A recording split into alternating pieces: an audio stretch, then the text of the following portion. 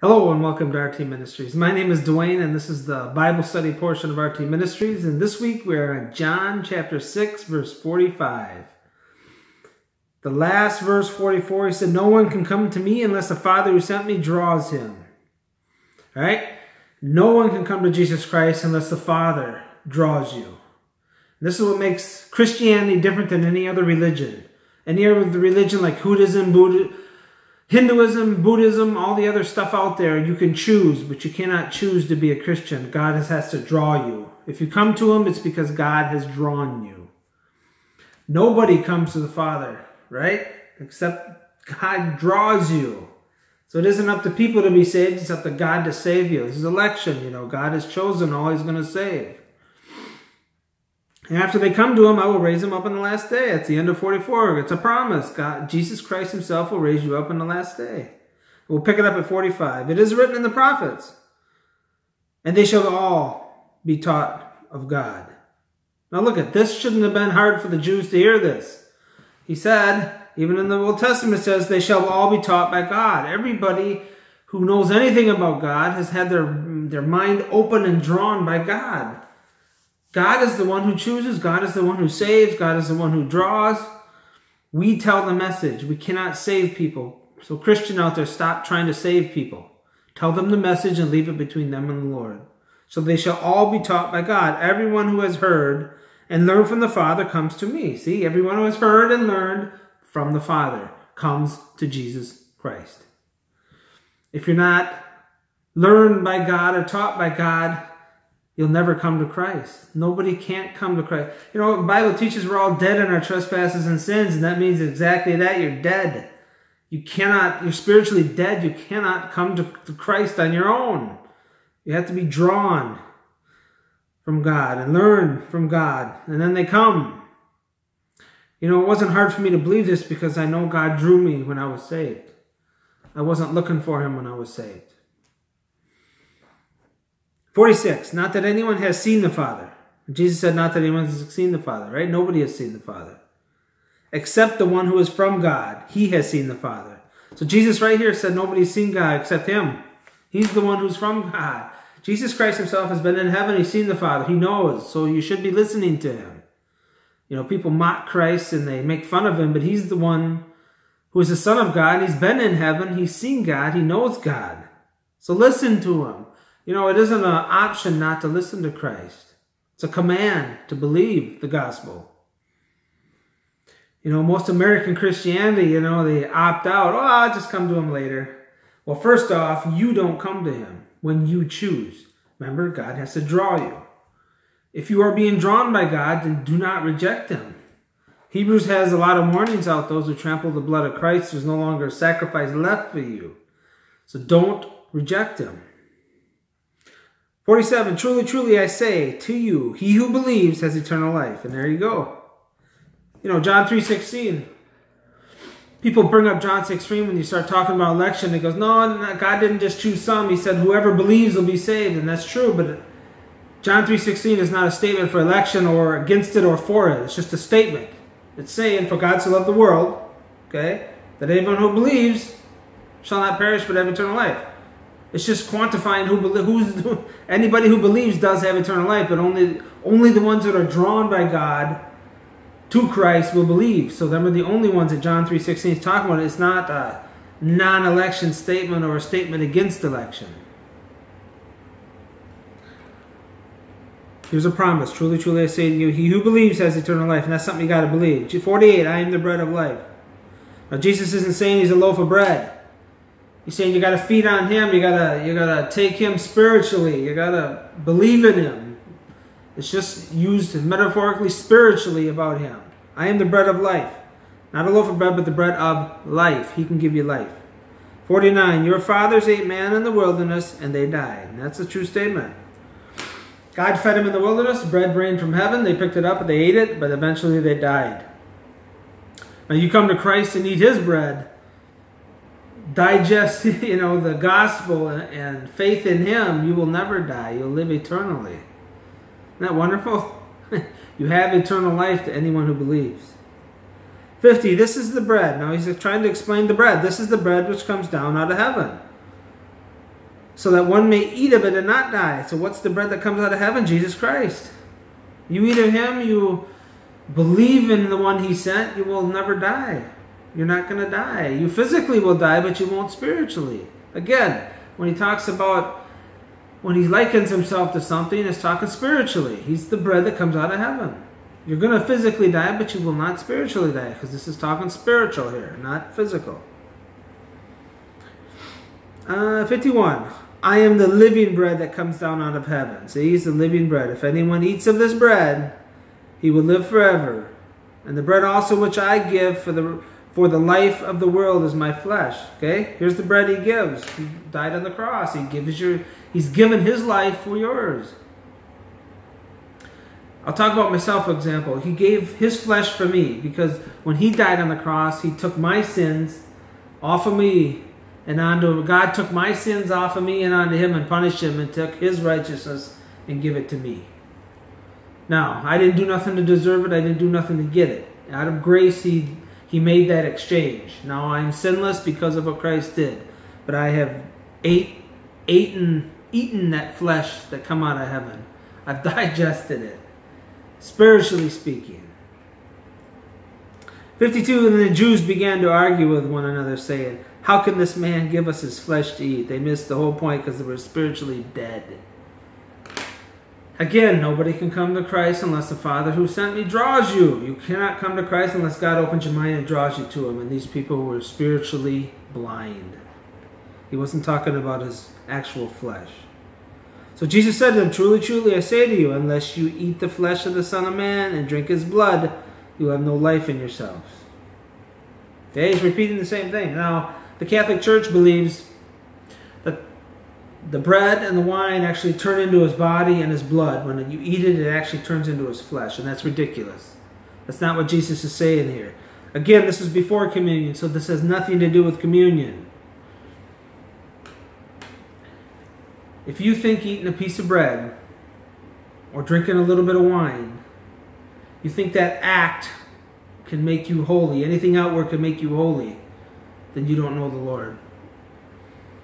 You can drink, you can eat all the bread you want and drink all the wine you want. It will not take away sin. Only Jesus Christ's life, which he was talking about, the bread is his life.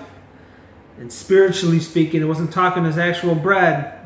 It's talking about spiritually speaking. You have to believe in him. Again, eating a piece of bread doesn't turn into his flesh. That would be cannibalism. The Bible condemns cannibalism, even the Lord's. And when the Lord instituted communion, was he eating himself? No, he was eating a bread. He said, Do this in remembrance of me. So careful on what you think saves you or takes away your sin. Because if you think wine and bread does, you do not know the Lord. You are way off base. So they didn't understand.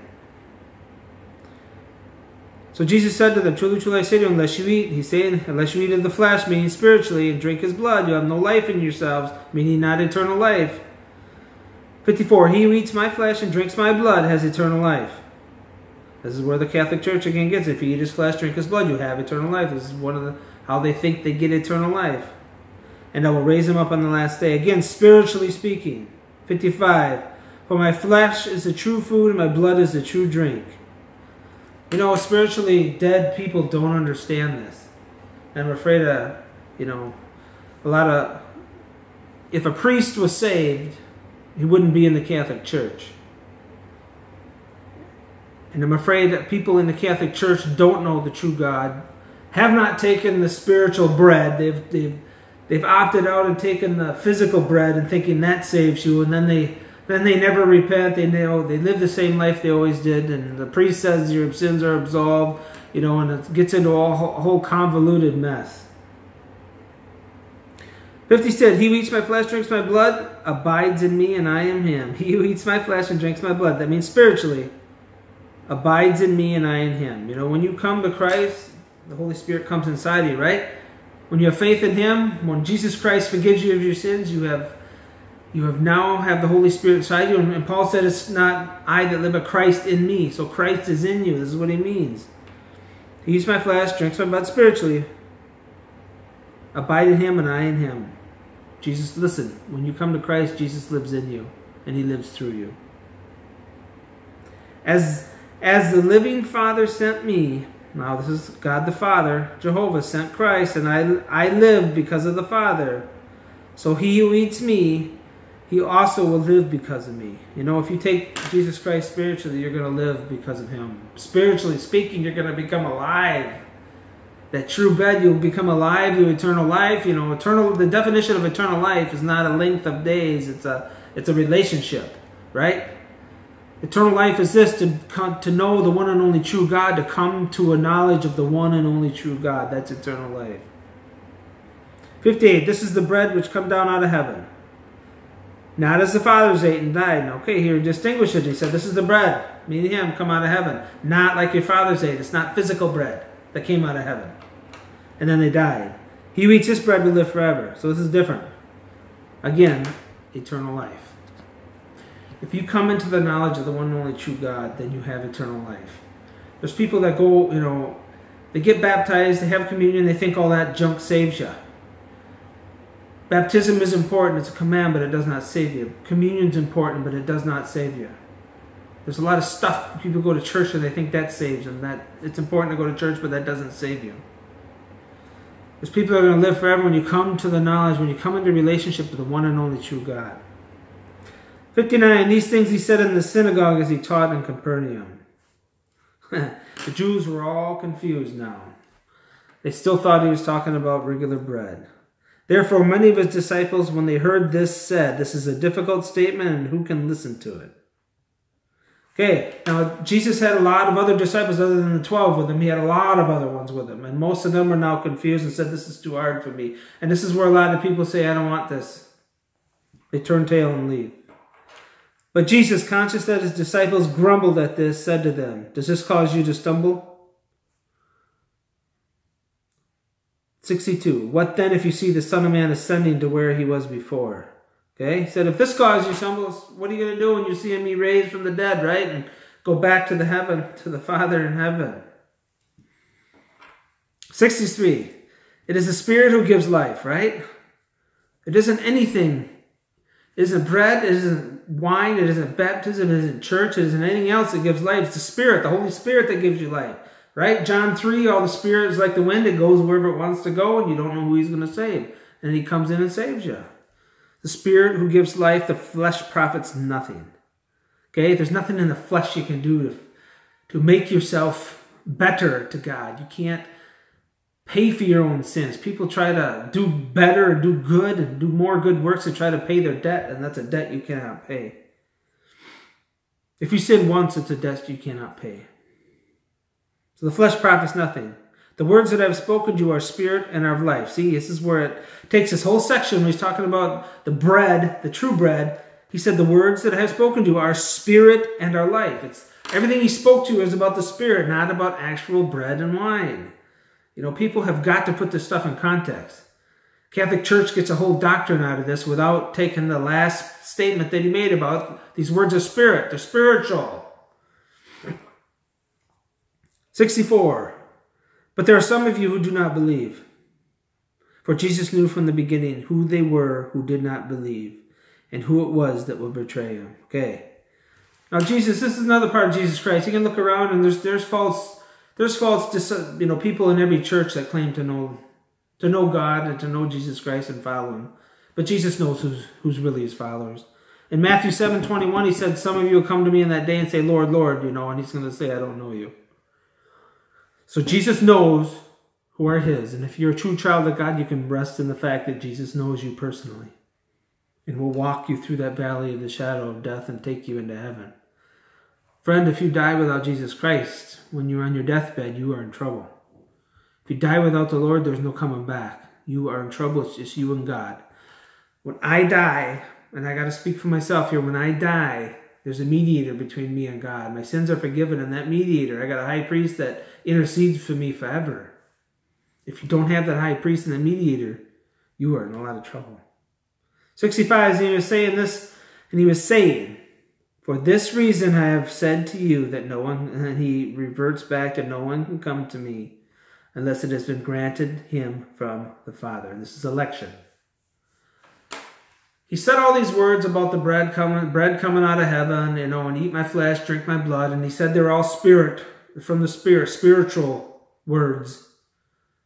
And then he, he looked around, he knew who didn't believe. There's a lot of disciples there, there's a lot of people there who didn't believe in him. And then he ended up saying, For this is the reason I've said to you. And he said it plainly that no one, this is this, I don't understand why people have such a hard time with election. It says it right here, no one can come to me, Jesus, unless it has been granted. Meaning granted to him from the Father. If God draws you, you'll be saved. If God doesn't draw you, you won't be saved. I don't understand why it's so hard. It's not that it's hard to understand, it's people have such a hard time with it. They just cannot accept his words. And this is where people push out the true Jesus Christ and bring in a false one. Because people bring in the false one where it's that Jesus that he bounces kids on their knees and he's the loving Jesus that doesn't have anything ever bad to say, and that's a false Christ, and that Christ cannot save you. So listen, friend. I hope you and Christian, I hope you take away from this that, that no one can come to me unless it's granted him by the Father. If you understand that, it makes uh, evangelism and when you tell the gospel a lot easier because tell the gospel and leave it up to the Lord. Don't try to bring people in. Don't try to save people. It makes it a lot less stressful. All right, I think we'll stop there at 65 we'll start off at 66. What can you learn from this? Well, Jesus is a true bread from heaven. If you accept him and trust in him, you'll have eternal life. That true bread that comes in, he gives you life, the eternal life. Everyone who has eternal life knows they have it because the Holy Spirit's inside, bearing witness with their spirit that they are a child of God. So rest in that fact, Christian. Thanks for tuning in. I'll see you next time. Bye.